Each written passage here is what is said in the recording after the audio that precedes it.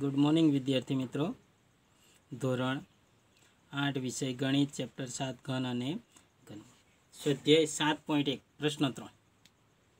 પ્રશ્ન બેની અંદર કે કઈ સંખ્યા વડે ગુણવાથી? એની બદલે આનાથી ઉલટું છે કે કઈ સંખ્યા વડે ભાગવાથી પૂર્ણ ઘન મળે? તો આપણે કઈ સંખ્યા વડે ભાગવાથી? તો કે એક ઉદાહરણ લઈએ. ઉદાહરણની રકમ લઈએ સાતસો ને સાતસો ને ચારને કઈ સંખ્યા વડે ભાગાકાર કરીએ? તો જે જવાબ મળે એ પૂર્ણ ઘન મળે, વિદ્યાર્થી મિત્રો, બરાબર? તો પહેલાં તો અવયવ, અવિભાજ્ય અવયવ પાડવા પડશે. સાતસો ને ચારના અવિભાજ્ય અવયવ પાડીએ, વિદ્યાર્થી મિત્રો, આપણે. અવિભાજ્ય અવયવની અંદર સૌ, શરૂઆત બેથી જ કરી જોવી. એકમના અંકમાં બેકી સંખ્યા એટલે બે વડે એનો ભાગાકાર થાય. બે વડે. પાંત્રીસ દુ સિત્તેર ને બે દુ ચાર. ફરી બે વડે. સત્તર દુ ચોત્રીસ ને છ દુ બાર. એકસો ને છોતેર એકમના અંકમાં ફરી બે એકી સંખ્યા એટલે ફરી બે વડે. આઠ દુ સોળ. એક વધશે. ફરી આઠ દુ સોળ. ફરી બે વડે. અઠ્યાસી છે એટલે ચુમ્માલીસ. ફરી બે વડે. બાવીસ દો ચુમ્માલીસ. ફરી બે વડે. અગિયાર દો બાવીસ. અને છેલ્લે અગિયાર એ અવિભાજ્ય સંખ્યા છે. એટલે અગિયાર એટલે અગિયાર વડે. બરાબર વિદ્યાર્થી મિત્રો? અવિભાજ્ય અવયવ. અવિભાજ્ય અવયવ તો ઝડપથી પાડતા શીખી જ લેવું વિદ્યાર્થી મિત્રો. હવે જે પણ અવિભાજ્ય અવયવ આવ્યા છે આપણે લખી દઈએ.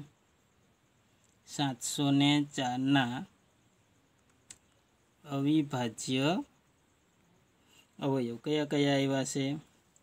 બે કેટલી વખત છે વિદ્યાર્થી મિત્રો? એક, બે, ત્રણ, ચાર, પાંચ અને છ વખત. એક, બે, ત્રણ, ચાર, પાંચ અને છ વખત અને એક વખત અગિયાર છે. બરાબર વિદ્યાર્થી મિત્રો? હવે સાતસો ને ચારના અવિભાજ્ય અવયવની વાત કરીએ, તો ત્રણ ત્રણની જોડ બનાવતા અગિયાર બાકી રહે છે. લખી દઈએ કે અહીં કેટલા કેટલાની જોડ બનાવવાની છે? ત્રણ ત્રણની. ત્રણ ત્રણની જોડ બનાવતા. આ ત્રણની જોડ અને આ ત્રણની જોડ.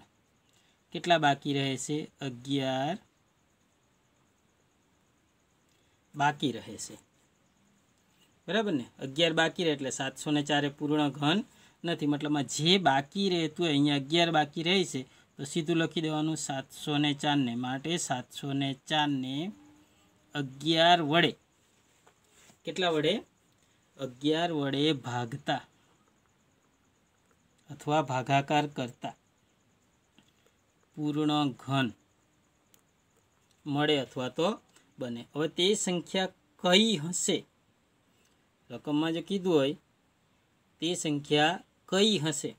તો આપણે આગળ પ્રોસેસ કરવી પડે. જેમ કે સાતસો ને ચાર ભાગ્યા અગિયાર બરાબર.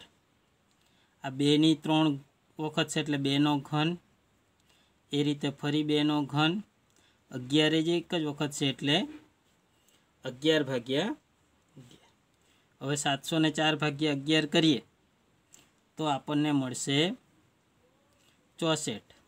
અને આ અગિયાર ભાગ્યા અગિયાર એટલે તો એક થઈ જશે વિદ્યાર્થી મિત્રો. એટલે અહીંયા કેટલા વધે? બેનો ઘન. કેટલા વધશે વિદ્યાર્થી મિત્રો? બેનો ગુણ્યા બેનો ઘન. બરાબર? આમ ચોસઠની વાત કરીએ તો બેનો ઘન એટલે બે ગુણ્યા બેનો ઘન. તો ચોસઠ બરાબર બે દુ ચારનો ઘન. એટલે કે ચોસઠનું ઘનમૂળ ચાર. ચારને જો આપણે ચાર ગુણ્યા ચાર ગુણ્યા ચાર ત્રણ વખત કરીએ તો આપણને ચોસઠ મળે. જો વિદ્યાર્થી મિત્રો રકમમાં જેટલું માંગેલું એટલું જ કરું. રકમમાં આપણને કીધું હોય કે કેટલા વડે ભાગવાથી પૂર્ણ ઘન બને. તો દાખલો આપણે અહીંયા જ પૂરો થઈ જાય કે સાતસો ચારને અગિયાર વડે ભાગવાથી પૂર્ણ ઘન બને અને મોટા ભાગે આટલો જ દાખલો પૂછાય, બે માર્ક્સની અંદર પૂછાય એટલે. કઈ સંખ્યા મળે એમ કીધું તો જ આગળની પ્રોસેસ કરવી પડે. બરાબર? હા, સાતસો ચારને અગિયાર વડે ભાગતા પૂર્ણ ઘન બને. બરાબર વિદ્યાર્થી મિત્રો? Thank you